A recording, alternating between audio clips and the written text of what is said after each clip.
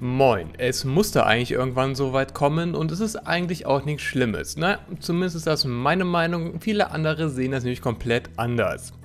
Heute geht es um den Battle Pass in Hand Showdown und ob dieser der Untergang für Hand sein könnte.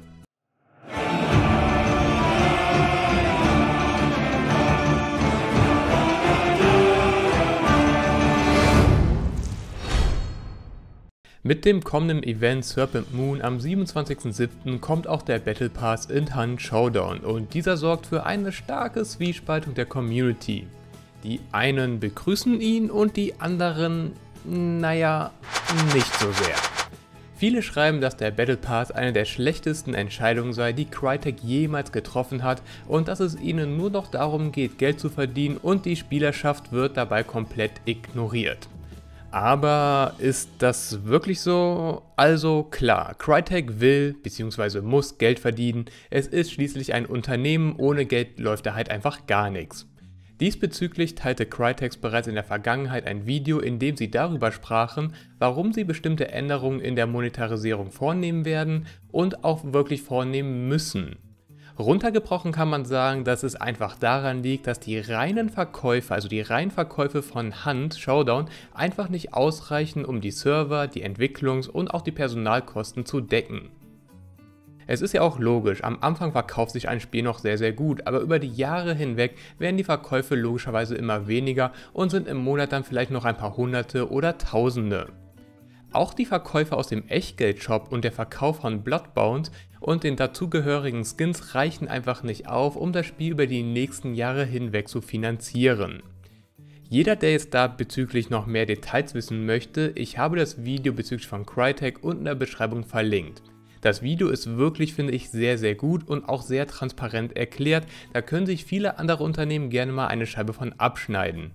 Somit musste aber logischerweise auch eine Lösung her, um das Problem zu lösen. Und da ist Crytek auf den Zug des Battle Passes aufgesprungen.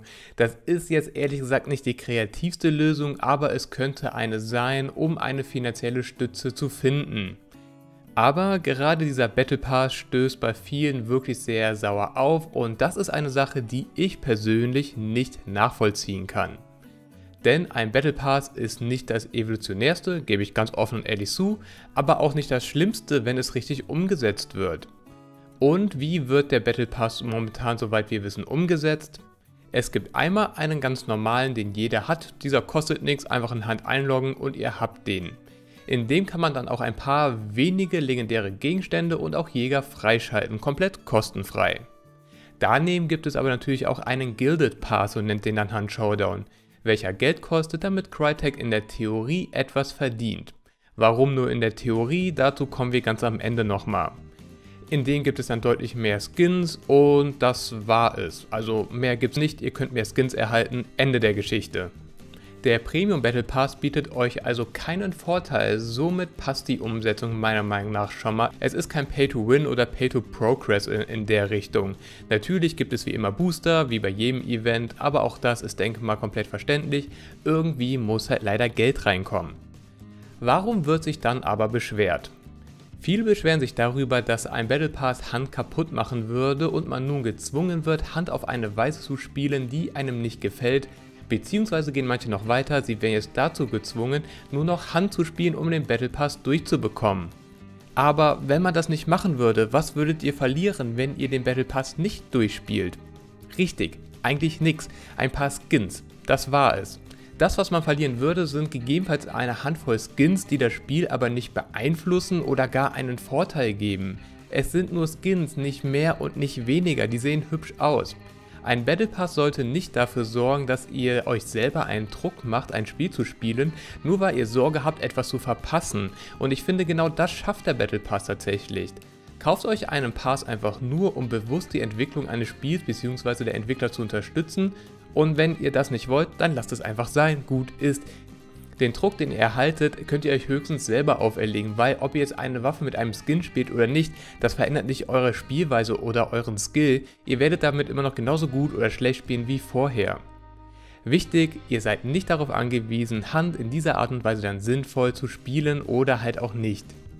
Und die, die darüber meckern, dass der Battle Pass in zwei Teile geteilt ist und der Premium etwas kostet, da kommen wir noch zu einem weiteren Punkt, wo ich jetzt vorhin noch meinte, in der Theorie kann Crytek daran verdienen. Aber es gibt ja zahlreiche Mittel und Wege, in Hand an Bloodbound zu kommen und damit könnt ihr am Ende auch den Battle Pass kaufen. Und ja, ich denke mal, die meisten werden von euch einige oder sehr viele Blood Pounds auf der hohen Kante haben, um sich entweder den Battle Pass komplett kaufen zu können oder um nur wenige Bloodbounds mit Echtgeld dazu zu holen, um ihn dann am Ende komplett zu haben.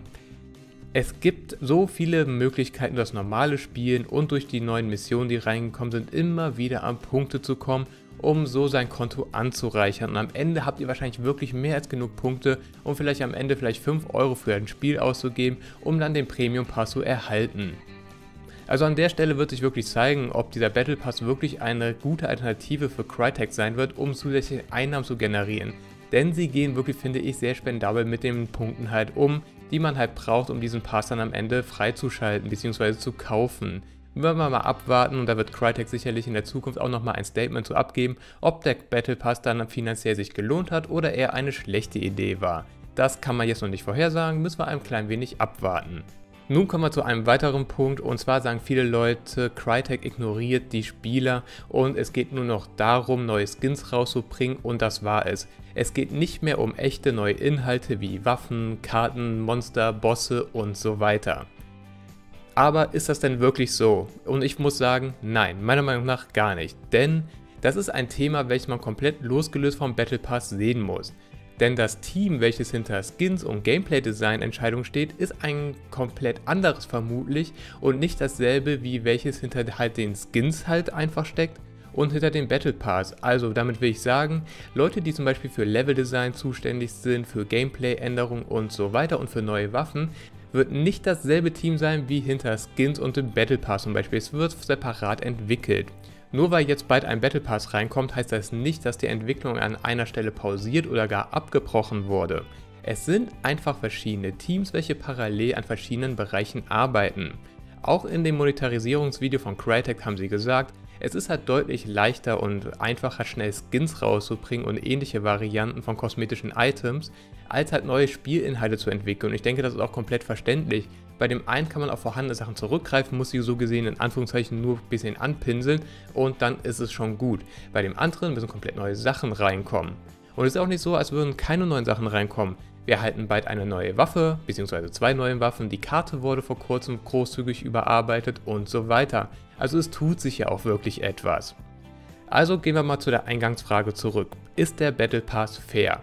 Ja, durchaus. Auch wenn es natürlich nicht die eleganteste Art und Weise ist, so etwas zu lösen, so kann ein Battle Pass doch dazu dienen, auch für Langzeitmotivation zu sorgen und auch dafür, dass Spieler immer wieder zurückkommen, aber es sorgt auch gleichzeitig dafür, dass halt Spieler nicht, finde ich, den Zwang bekommen, einfach, okay, ich muss jetzt das Spiel spielen, damit ich jetzt nicht irgendetwas verpasse. Denn am Ende, Leute, es sind nur Skins, mehr verliert ihr nicht. Also da immer mal wieder den Ball flach halten. Eine andere Option zum Beispiel wäre, um ein Spiel dauerhaft zu unterstützen, wären halt monatliche Abogebühren. Und ich glaube, das würde deutlich mehr den Leuten auf den Magen schlagen, als ein Battle Pass, der rein optional ist, den man sich kaufen kann oder lassen kann.